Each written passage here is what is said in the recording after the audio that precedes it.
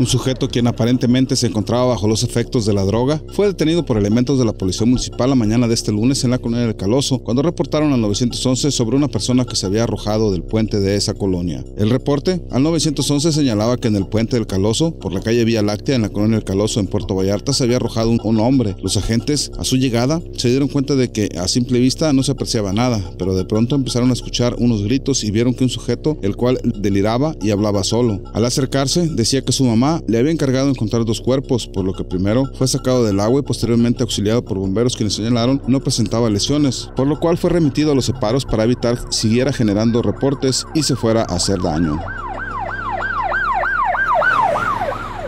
La mañana de este lunes se registró un incendio en una camioneta estacionada en la avenida San Nicolás en la colonia Salitrillo de Puerto Vallarta. La camioneta terminó completamente calcinada luego de que el fuego arremetió con toda su estructura. De acuerdo con lo informado por la propietaria, fue un cortocircuito el cual dio inicio al fuego y desde ese momento se puso conocimiento al 911 y a los bomberos para que acudieran a sofocar el incendio. Hasta el lugar llegaron dos unidades de la policía municipal quienes se percataron de que afuera de una escuela de fútbol se encontraba una camioneta suburban de color gris incendiándose por lo cual solicitaron de urgencia la presencia de bomberos. A los pocos minutos llegaron los bomberos que se dieron a la tarea de atacar el fuego, pero luego de algunos minutos cuando ya estaba casi controlado, se reavivó cuando el tanque de gasolina explotó y el combustible comenzó a regarse por la zona y corría junto con el agua hacia donde estaba el camión de bomberos. Esto obligó a sofocar el fuego que amenazaba la unidad de emergencia mientras que el incendio de la camioneta comenzó a arreciar. Fue entonces que debido a las malas técnicas aplicadas en la sofocación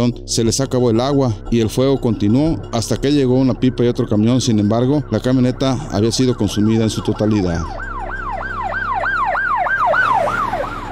La mañana de este lunes se registró un desplome de un helicóptero en el municipio de Tuxpan, Jalisco, donde se ha dado a conocer que el saldo fue de tres personas muertas. El hecho tuvo lugar en el predio conocido como La Higuera, en el municipio ya referido, donde personal de emergencias fueron informados en torno a los hechos. Al llegar al lugar, las autoridades aún localizaron la aeronave destrozada incendiándose, por lo que procedieron a sofocar el fuego y tuvieron que utilizar espuma para contener el combustible que ardía alrededor de la aeronave. En el lugar localizaron tres cadáveres calcinados. Asimismo, descartaron que se trate de alguna aeronave del gobierno y se trata de un particular, la cual había salido del estado de Colima y se desconoce hacia dónde se dirigía. Para CPS Noticias, Guadalupe Arce.